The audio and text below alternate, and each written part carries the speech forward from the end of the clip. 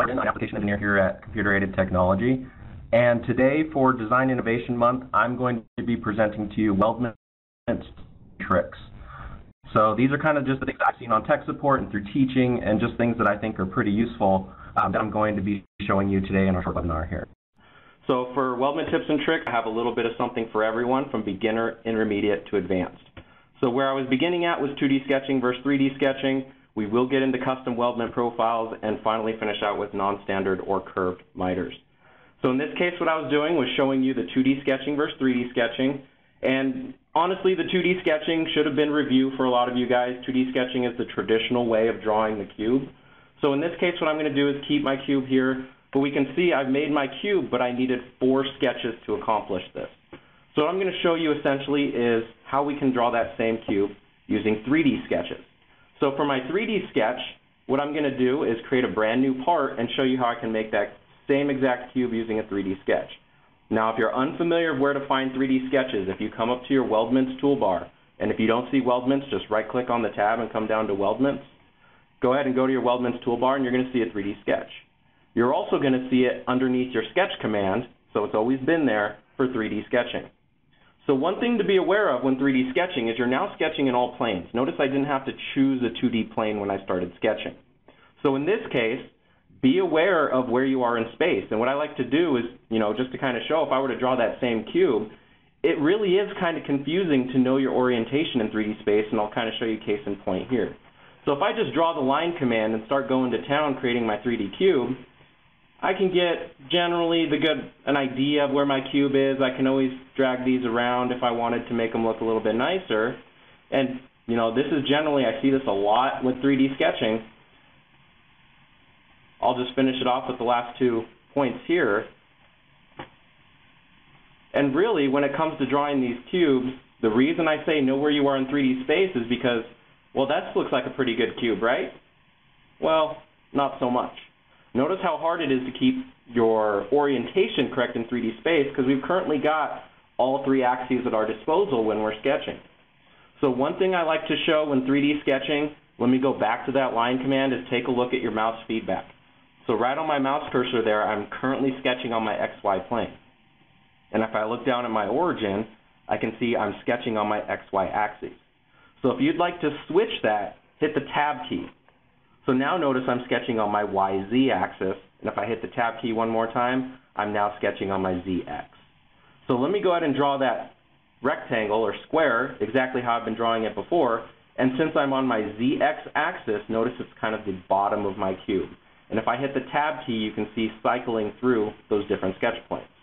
So on my ZX plane, I can go ahead and draw my rectangle. You can add dimensions in 3D sketches just like you can in the 2D sketch. So you can create those dimensions and they're going to dimension your sketch entities in 3D space. But you're also free to now draw any entities out of plane. Now since I want to draw the legs of my cube, I need to be in my y-axis. So any plane that contains my y-axis, I'll be able to draw those legs. So I'll go ahead and just draw all four of those quickly using the line command. And in 3D sketches, we also have access to traditional relations. So notice as I select these four lines, I can also make them equal in length in 3D space. Now our relations are going to be slightly different in the 3D space. Notice right here I have a relation called along y. So you can now lock lines in along axes. So in this case, if I were to draw one more rectangle, again, pay attention to the axes you're currently, or the planes you're currently drawing, and I'm currently on my XY. If I hit tab, I'm on my YZ. If I hit tab one more time, I'm on my ZX plane. So I can snap my square in. And if it says I'm not fully constrained, looks like I have one degree of freedom here left, I'll go ahead and take my smart dimension and just give my cube a height. And now everything is fully constrained in one 3D sketch. So 3D sketching versus 2D sketching, if you are if you know where everything is in space and you want everything contained in one single sketch, definitely use a 3D sketch. Um, it's a little more confusing to get around, but once you get the hang of a 3D sketch, it's an easier way of containing all that information. You'll notice I was able to draw that cube a little bit quicker since I didn't have to create all those planes along the way. So to round out the 3D sketching, I've got one more tip for you. So I'm going to go right back to SOLIDWORKS and show you one last way to make this cube. Now this is a slightly different way of making it, so I'm going to go ahead and draw my rectangle, or my same square that I've been drawing, and I'll go ahead and just give it 12 by 12. And what I'm going to do in this case is just model the solid. So in this case, I've got a solid cube, and if you notice on the cube, all of the edges on the cube are the exact lines that I've been drawing. So a quick way, if you want to make a 3D sketch where the solid is quicker to model, such as in this case, you can go ahead and start a 3D sketch from the solid model, and what I want to do is just select all the edges. But if I window select, you'll notice I'm not exactly grabbing the edges that I want. So I'm going to introduce another tip for you, which is selection filters. So I'm going to hit, I'm going to introduce two hotkeys here, F5 and F6. If you hit F5, it's going to bring up your filters toolbar. And if I look down here, you can filter out things like vertices, edges, faces, bodies even, surface bodies and solid bodies, so a lot of good selection filters down here. I'm going to use the edge filter, and if you take a look at the cursor, you'll notice some more mouse feedback. That pink funnel, that indicates that you have your selection filters on. So if you've ever seen that and had trouble selecting things, that's due to the selection filters. So if you hit F6, you will turn them off. So F6 is another hotkey for quickly turning filters on and off. And F5 key again will show and hide the selection filter. So if you've ever seen that, that's what it is. Um, we get a lot of those questions on tech support as well. But if I have filter edges on, notice as I go through, I can then select. I can just window select edges of my cube. Now, in this case, I've got some edges in the back I want to grab, so I'm going to use a little display state just to show all my edges. And if using window selection now with filters, I'm able to just quickly window all of my edges and select them. So with all of my edges selected, I'm going to use a quick convert entities. And at this point, I've now got a 3D sketch with all of those edges taken directly from the solid. So a quick F5 will hide my filter toolbar. And if you want to go into the solid, the solid is still there, so we can always hide the solid. But I'm left with a 3D sketch that is an exact copy of what I had before, just a slightly different way of creating it.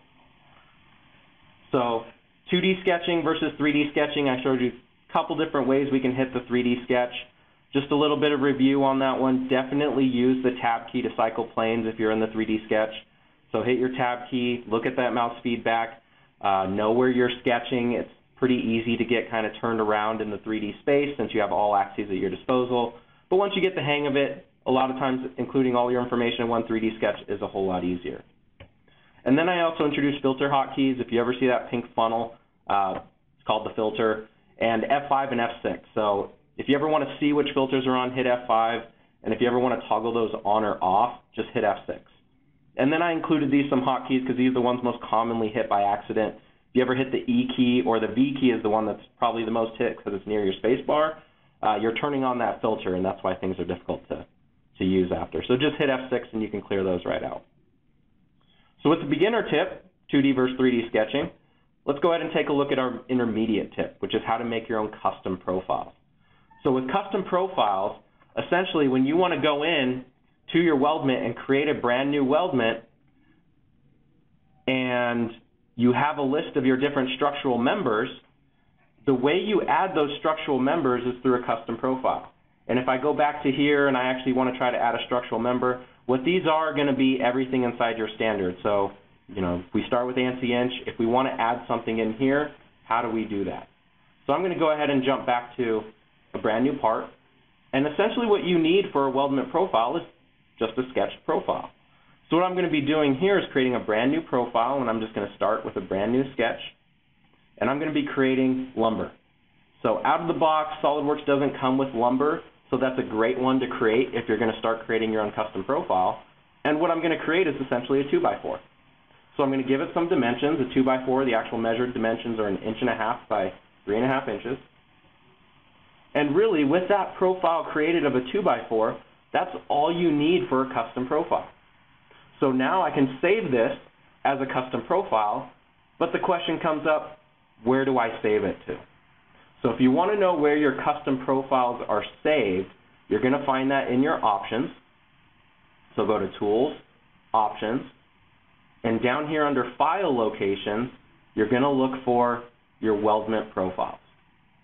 So right here is where your weldment profiles are saved. Yours may be different if you have a different custom profile location, or you could save this on a network location and other people can access it so you're all accessing the same um, profile locations. But in my case, it's C program files, SOLIDWORKS Corp 18, SOLIDWORKS Lang, English. So if I were to navigate that to that using just a Windows Explorer, I'd come down to SOLIDWORKS Corp 18, SOLIDWORKS, Lang, English, and weldment profiles, and here's everything we were seeing inside our standards. So because I want to get back there quick, I'm just going to pin that so I can go back to my weldment profiles whenever I need to. And now that we know where it's saved, let's go ahead and save our weldment profile. So with that location known, there's a very specific workflow for saving your weldment profiles.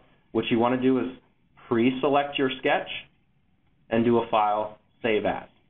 Now the type of file that your weldment profile is going to be is a specific file type called library feature part. So from the pull down, saving your sketch, we're going to save it as a library feature part. And in this case, we need to go back to our pinned location. So C program files, SOLIDWORKS Corp 2018, SOLIDWORKS Lang English, and this is where you're going to save your weldment profile. So what I'm going to do here is create a brand new, I guess you could call this um, type. I'm going to create a new type of weldment profile called lumber. And inside lumber, I'll go ahead and name my actual profile structural lumber. So now I have structural lumber weldment profile inside a lumber category in my weldment profiles. So I'll go ahead and hit save. And if I now look at my part up here on the top, it's telling me I'm saving it as a solid library feature part, which is my weldment profile. And over here in my library tree, I've got an L on my sketch, telling me this is a library feature part. Now at this point, I could start using my 2x4 structural lumber but I wanted to give you guys a little bit more flexibility in how you create these custom profiles to show you that we can actually leverage configurations inside of here. So in this case, if I go to my configurations, this is my 2x4. So I'll go ahead and name this 2x4. I'm also going to include in my structural lumber a 2x6 and a 2x8 so that I'm able to contain a few different sizes of structural lumber all within the same weldment profile. Now, if I were to go through, they're all the same size. So if you're unfamiliar with configurations, what you can do is change things like dimensions and materials and custom properties. So the easiest way to configure dimensions, probably just right-click your dimension, and in this case, we can configure our dimension. And for my 2x4, I've got my width at 3.5 inches. And then for my 2x6, I can go ahead and change that to 5.5. And for my 2x8, I'll go ahead and change that to 7.5. So now I've got multiple weldment profiles, different sizes, all contained through my configurations. So now if I look at my 2x6, I have the appropriate size, and my 2x8. So I've now got multiple structural lumbers all within the same profile. Now I could stop there, but I also told you you could configure material. So let's go ahead and do that. Let's go ahead and add a material to this. And in this case, since I'm using wood, I'm going to add a cedar so that that cedar actually gets saved inside my custom profile when I use it in my weldment. Now I do want to note that be careful when you're using configurations to make sure that cedar is applied to all configurations, just so you're not losing out on anything. And then the last thing I'm going to configure for you guys, so right now they all have cedar and they all have their sizes, is descriptions. So in this case, if you want to carry a description, descriptions are contained in your properties. Um, so if you go to your properties, you've got a few different configuration-specific properties. One of the ones you're probably going to use the most is description. So let's go ahead and give these a description. In this case, very simple. I'll call this 2x4 lumber. I can also create one in 2x6. I'll call this 2x6 lumber. And finally, 2x8. So I'm adding a configuration-specific description as well. So three things here. Um, I am configuring my dimensions, my description, and my material. So all of that will be captured in my very simple weldment profile. So in this case, what I'm going to do is just hit save. And I can now use that weldment profile inside a weldment. And I'll go ahead and show you guys how to do that now. So if I hit new and just start a brand new part on my front plane, I'm creating my path right now, so I'm going to create something that I can actually see. I'm going to make it 12 feet in length. And if I go to my structural members now, down here under my standards, I should see lumber. And inside my lumber, I should have my structural lumber that I just created. And inside that structural lumber, notice I have a dash configured. I now have multiple sizes to choose from, 2x4, 2x6, and 2x8. And again, I just created those. So I'll go ahead and choose the 2x4. And before I move on, I'll show you this little checkbox right here to transfer material from profile. So what that's going to do is bring over that cedar or whatever material you have applied to your custom profile. That way you don't have to keep applying it to your parts. If you have a profile that's always going to be structural steel, you can always bring that material in directly from your custom profile. Then I can go ahead and just choose my segments here, and you'll notice my 2x4 profile gets carried through. And at any time, because this is a, a configured profile, I can change that to a 2x6 or even my 2x8. And you'll see my profile changes accordingly. So I'll go ahead and accept this. And I've now got my structural lumber, which is my configured 2x8. And if I look in my cut list, I've even got my description of 2x8 lumber coming through. So one last tip I'll show you, it'd be nice if you can see those descriptions in the cut list. Um, if you did not know this, inside your options, under document properties, you'll find a lot of good um, options you can change when it comes to weldments. And one of the most useful, the one I use quite a bit, is the ability to rename your cut list folder with your description value. So in this case, if I rename my cut list, I can now see my 2x8 lumber inside my cut list. And just to show you that it comes through from the profile, I can go ahead and change this to 2x4. And as soon as I hit OK, I've now got 2x4 lumber listed in my description. So fairly simple to create your weldment profiles. All you really need to do is create the 2D section. But just to add a little bit of complexity to those, you can control these using configuration. So you can configure your dimensions, you can configure your uh, descriptions, and also materials. And so, I showed you how to do that just through some simple configuration changes. So Jordan, actually, your your recent slide just answered one question we had on the chat. If if Weldment Profile is already pre-configured on my machine, where do I go find the current location for Weldment Profiles, which shows right there. If you go to Tools, Options, System Options, File Locations, Weldment Profiles. Um, another question that popped up was we noticed when you changed your your categories of weldment profiles, there was only like four of them are there is there a place where you can go and download more of those uh, structural profiles? Can you show that to us? Yeah, that's a great question. So SolidWorks does come with some default profiles that you can download. And where you're going to find that is inside of SolidWorks. If you come over here to, I believe it's in Design Library. Let me go ahead and expand this here. Down here under SolidWorks Content, we're going to be able to find things like um, let's see if I remember where it is. If I click on SOLIDWORKS content, weldments, that's where it would be. There's some default libraries that you can download. So if you're wondering where I got the ANSI inch that's in there, this is where I went to grab it.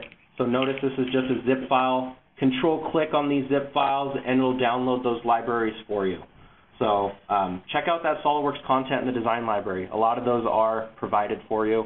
Um, and I do know there's some training files that we also provide for Weldment profiles if you ever take our Weldments class. Um, we also, or SolidWorks Online, you can also download them from SolidWorks training files. So um, a couple different places you can go for those libraries of already configured materials. Okay. Thank you very much, Jordan. Um, uh, we got a couple more questions, but we'll hold off and let you proceed on. Sure. Thank you. Yeah, so I've got one more tip I want to show you guys, and then I'll open it up for questions. But I will finish out with my last tip for you, which is what to do in a case where you have advanced or non-standard curved miters. So in this case, if you're dealing with molding or things like this, let me go ahead and open up just a path that I have already defined. And for this path, what I'm going to be doing is applying a molding to it. So if I go to my structural members, I've already set up a molding category. This is uh, my own custom profile that I did create. And I will choose one of my profiles. And in this case, what I'm going to do is just create my molding along this path. Now, if your molding doesn't quite follow exactly where you want your path to go, there is a button down here called Locate Profile that allows you to redefine where your profile will follow the path. So notice it kind of kicks that profile over. And I'm just going to go ahead and go through and continue to select objects on my path. Now you'll notice if I go through here, I'm just going to accept whatever SOLIDWORKS is going to give me here. But if I look at this 45 degree corner, SOLIDWORKS does a really good job of auto mitering that for me. So that's a nice clean 45 degree cut miter. You can just put that on your chop saw and make it. But if I go over here and look at where I've got a curved section meeting a straight section, if I look at this miter from above, that doesn't quite look so clean. And if I rotate this around, I can see that SOLIDWORKS isn't quite matching that up exactly how I'd want it. And I'll kind of show you what's going on and why it's doing that. But before I do, I'll go ahead and walk through my tip essentially on what to do if you ever have a non-standard miter cut like this. So the first thing you want to do is tell SOLIDWORKS that you don't want it to apply that straight 45 miter. So one tip you can do if you ever want to separate out multiple bodies in your sketch, what you can do is just remove this line segment out of your group and just create a new group. So if I create a new group, I can use the same profile, but because it's a different group, it doesn't automatically apply that miter end treatment. So I'll go ahead and hit OK. And now I've got two intersecting solids, but what this is going to allow me to do is create my own miter. So in this case, I'm going to sketch on my top plane, and if I take a look now at what SOLIDWORKS is doing, if I actually draw a line where these two things intersect, and I look at it closely, if, the, if I follow this straight line, that's actually not the natural curvature that I would encounter with a curved miter. So this straight line actually doesn't quite match up exactly. This looks like more of an arc. So what I'm going to do is replace this line with an arc. So I'll go ahead and delete this. But before I do that, and actually I could just place my arc now, if I create that arc between the start and end points, you'll notice I can't quite snap directly to the center of where it intersects. But that arc looks like it matches pretty darn good. So I'm just going to place my arc off to the side for now. And what I need is an actual location along this intersection path. And this is one of the tips I was going to show you. I can utilize something called a virtual sharp. And to utilize a virtual sharp, what it's going to do is give me the intersection of two points or lines. So what I'm going to do is control select two intersecting line segments or two like line segments from the two profiles. And I'm just going to hit the point command. Notice what SOLIDWORKS does. It created what's called a virtual sharp on the intersection of those two edges. So using that virtual sharp, I can then snap my arc to it to make sure my arc intersects it. And now I can see I've got a clean intersection line of the natural curvature for those two miters.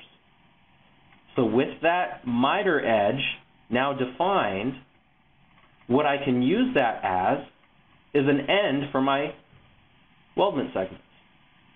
So the way I'm going to create that end, I'm just going to use an extruded cut. Uh, if you did not know this, a line is a valid entity to use as, a, as an extruded cut. What it's going to do is cut either to one side of the line or the other. So for my direction, I'm going to make sure I've cut through all in both directions. And if I look at my arrows, I'm cutting everything to the left-hand side of my line.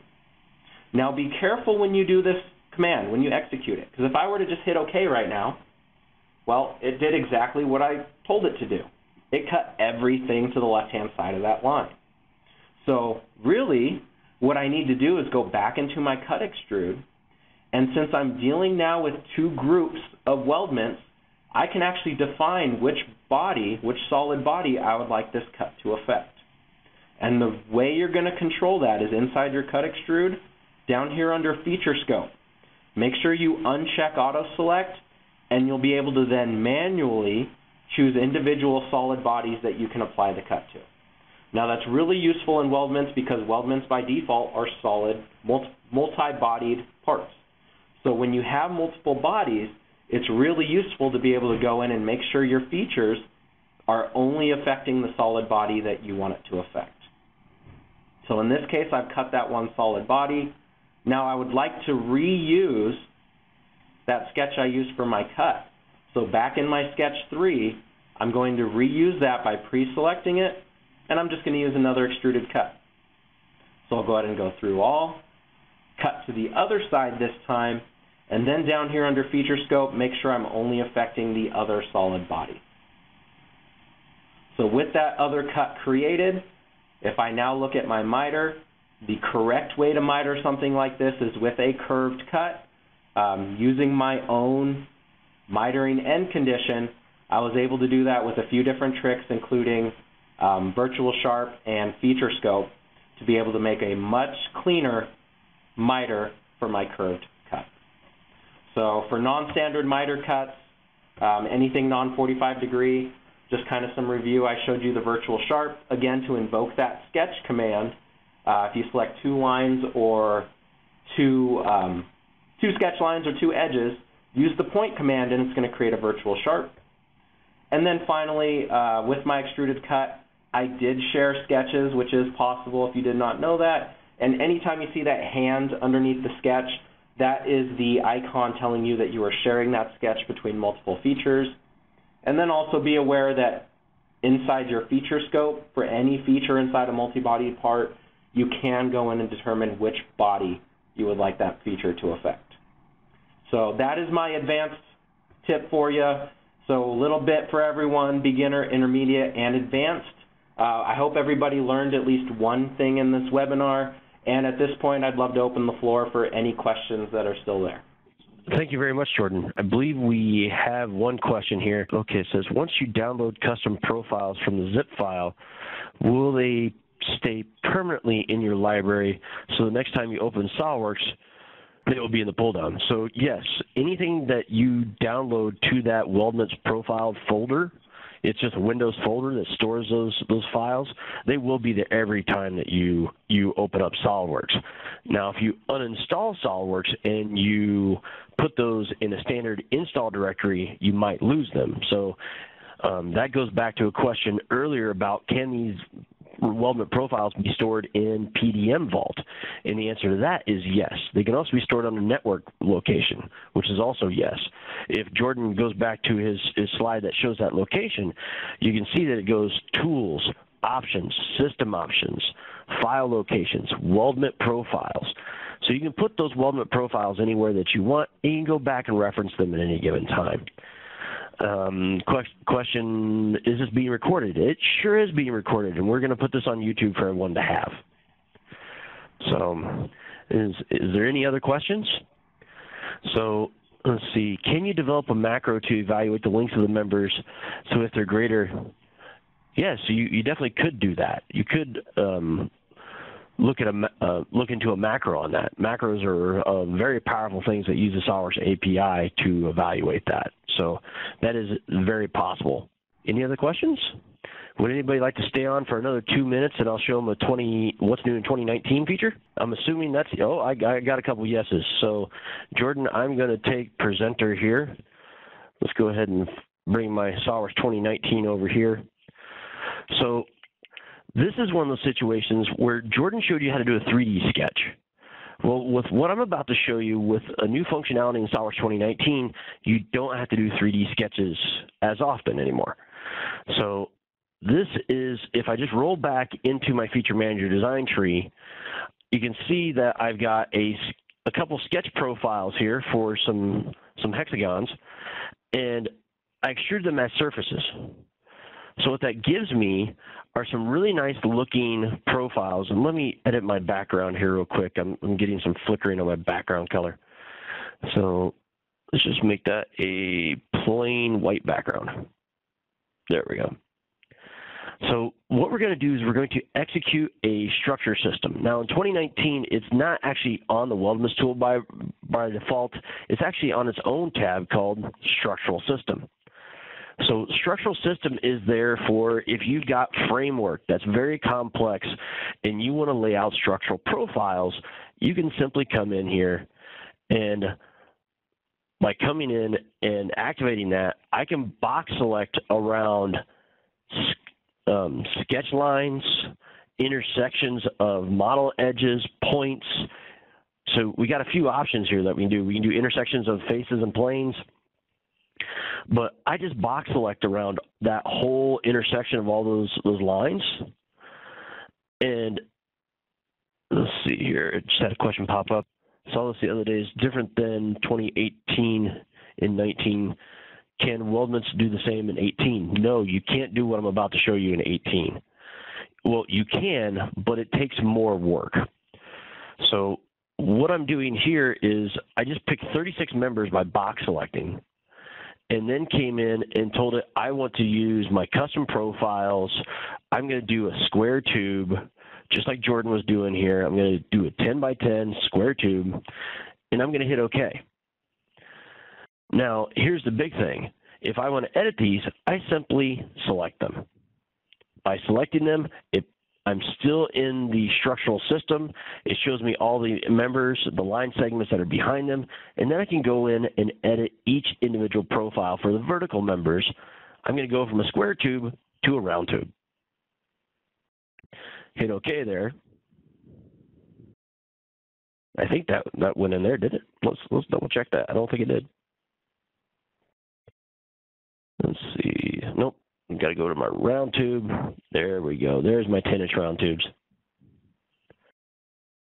So now if we look at those, now I've got round tubes and I got square tubes. You can see that nothing has been uh, mitered or coped yet.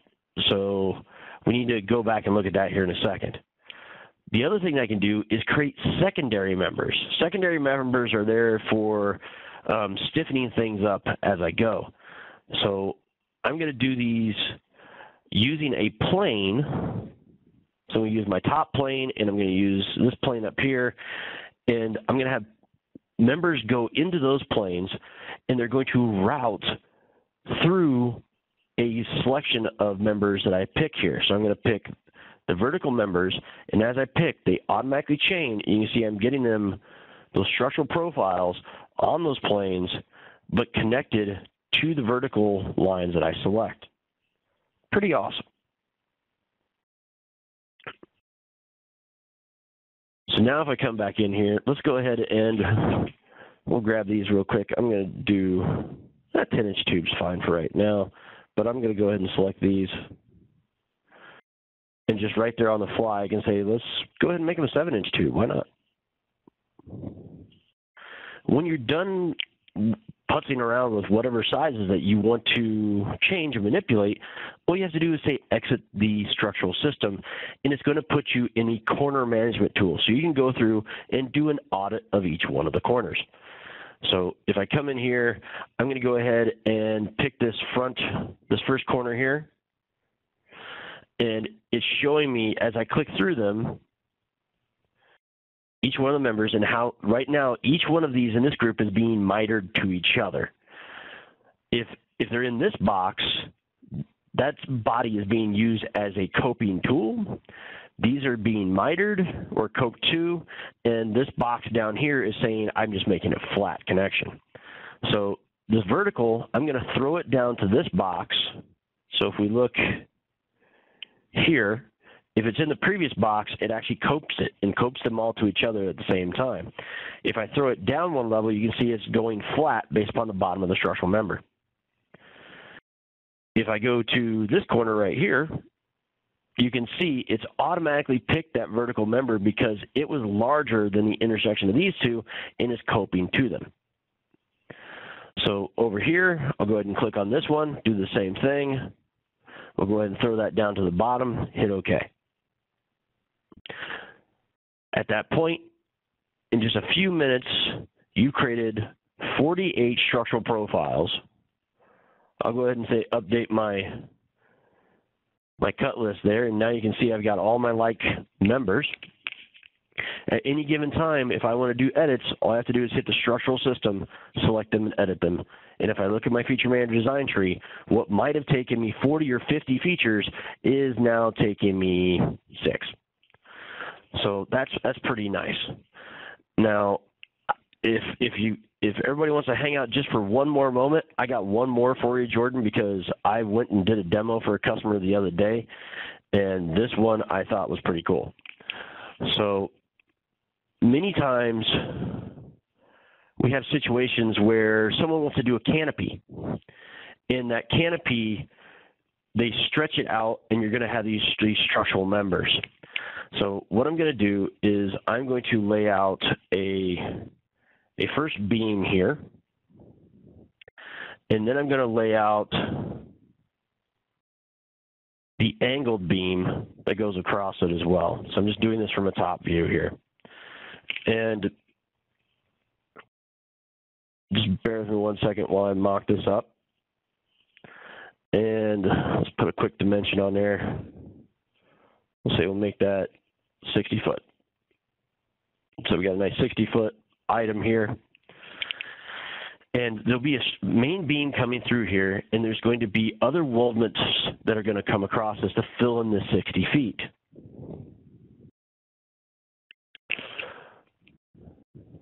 So I'm going to throw a plane down here, and this plane is just going to accommodate the angle. Yeah, that's what I want. The angle of the profile I'm going to be working with. That looks fine.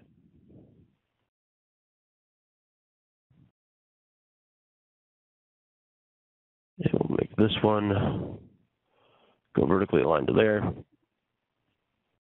Actually, horizontal. There we go.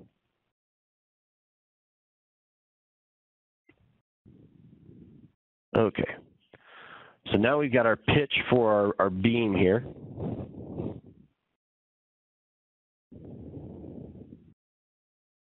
Yep, that's what I want.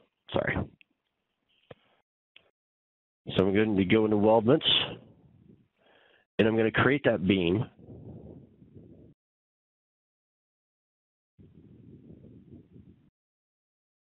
And I'm going to go, as you notice, even I have, have woods in my project here. I'm going to go ahead and grab a square tube. I'm going to go with a 10 by 10 tube. That looks good. But now I need to do a pattern of those so I can have a nice update going on. So I'm going to make these go every 12 inches, and I'm going to go with, let's go with 10 with those right now. So pattern that body, and let's go with, uh, let's go 10 feet, 10 foot, please. And we'll go five of those. Six, seven, Let's go with six. Okay. So this looks looks pretty good here. If I come in and I make this a little bit longer so it extends past, this line right here is going to represent my truss. So how do I make sure that as I add more into this pattern, how do I make sure that I'm trimming and coping these correctly every time? What you can do is take a sketch and create a surface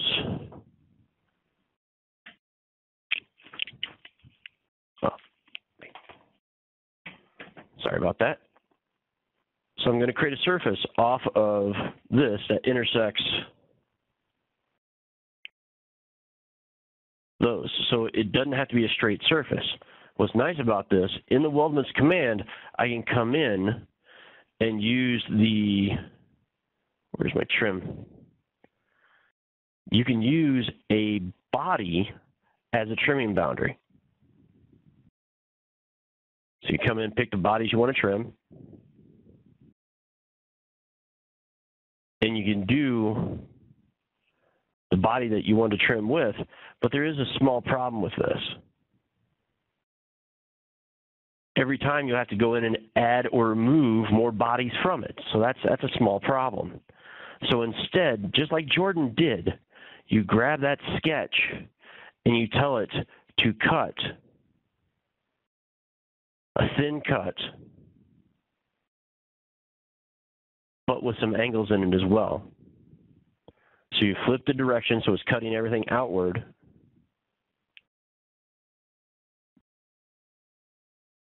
Make sure it cuts all the bodies. And let's see, select bodies. We'll just do these right here.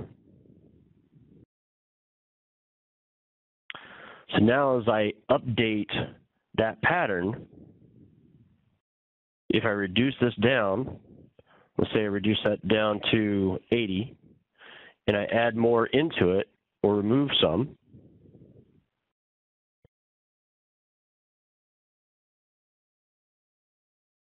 there's one I need to exclude here.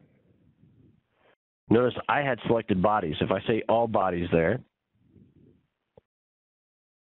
that's fine. It's just that this body right here is not outside the cut. So what we'll do